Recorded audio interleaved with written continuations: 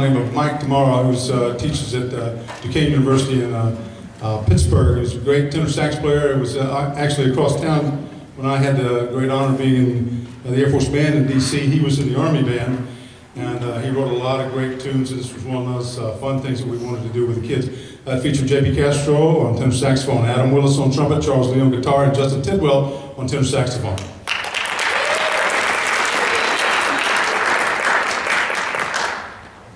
Least but not last would be, uh, we just call him Thumper.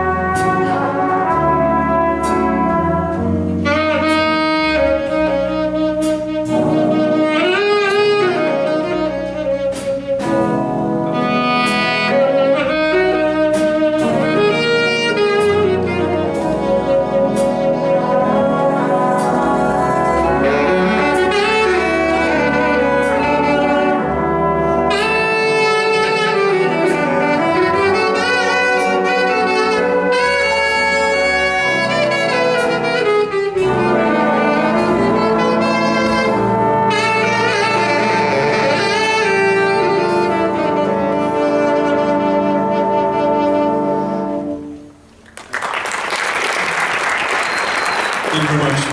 Uh, featuring Justin Tidwell once again on tenor saxophone. It's a beautiful chart uh, arranged by John Fedchock, who was a who is a great trombone player. He lives in New York City, has his own big band.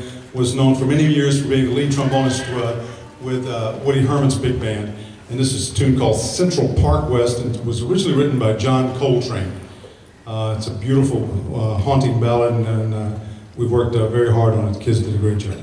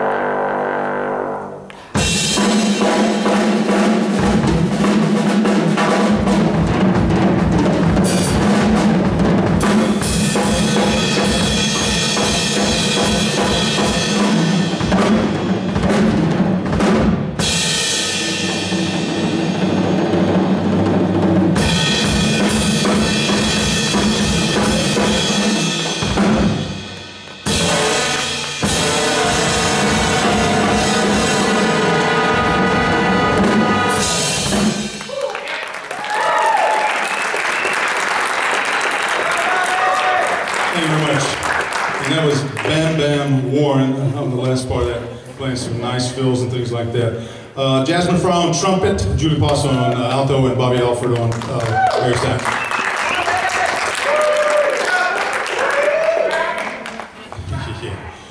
He said throw money. Uh, that tune's called Bird Count by Maria Schneider. Anybody uh, in the first band, everybody, let me ask a question. First banders, let me see your hands out there real quick. Uh, you, uh, anybody in the first band doesn't know who Maria Schneider is? Everybody knows? Uh, you guys have been to enough of my rehearsals. What I do to my guys is when they don't know somebody, I make them do a paper on it. so the first guys are pretty quick. I'll get you guys. We're going to do one more tune for you. It's one of my personal favorites, and I'll backload it after we finish. But we want to thank you once again uh, for coming out tonight. And, uh, you know, spread the word. Bring a neighbor, uh, you know, relatives. Uh, it doesn't matter. Just bring them out. I want to have a good time with them. You know, with this institution, uh, under the, the guidelines of uh, Gary Meggs, Les Peck, John Webb, Mark Wyndham, are doing great things here. I'm, I'm applauding them because I'm, I'm, kind of the newbie on the, on the block. But it's, uh, it's really is a, a wonderful thing going on down here. And more people that can become involved with this and, and get more support, uh, you know, that's what it really takes. Uh, so uh, with that, uh, you know, bring a friend to somebody. Grandma, we don't care. You know, we'll, we'll get her in here some way. But thank you for coming, and hope you enjoyed the concert. And here's our last tune. Oh, I forgot about that. Uh, one of the reasons the First Jazz Band's not here tonight is because of the China trip. But uh, we preloaded those kids because they were playing a two-hour concert every night. So, hey, I know that guy. Uh, long story short is that they did, uh, uh, about three weeks to a month ago, they did a two-hour concert here. So uh, they've also got a concert coming up with Tom Bones Malone. Uh, anybody out there know, have ever heard of a band called the Blues Brothers? Okay, have you ever heard of a band called Blood, Sweat, and Tears? Okay. Uh, have you heard of a band, uh, uh, Paul Shaffer band on the Letterman Show? Okay, this guy uh, has been a, a, an extremely highly paid professional musician for, for 35 to 40 years. Um, he's an interesting guy. He plays just about every instrument. And if you are going to make it out to the concert, we're playing uh, uh, at Dardanelle on the 26th at 12 noon. It's a little bit of a drive, but we're also playing that night coming back to Little Rock and playing at the, uh, uh, the Clinton uh, uh, Library. It's going to be, if, if, the weather holds, it's going to be an outdoor concert, so bring chairs, blankets, whatever. Uh, and you'll enjoy this gentleman tremendously. You'll love the first band also. but it's, it's, it's beginnings, we think, of something great tied in with Clinton Foundation, and we, we, welcome any, any help in any of those areas. But hope to see you there.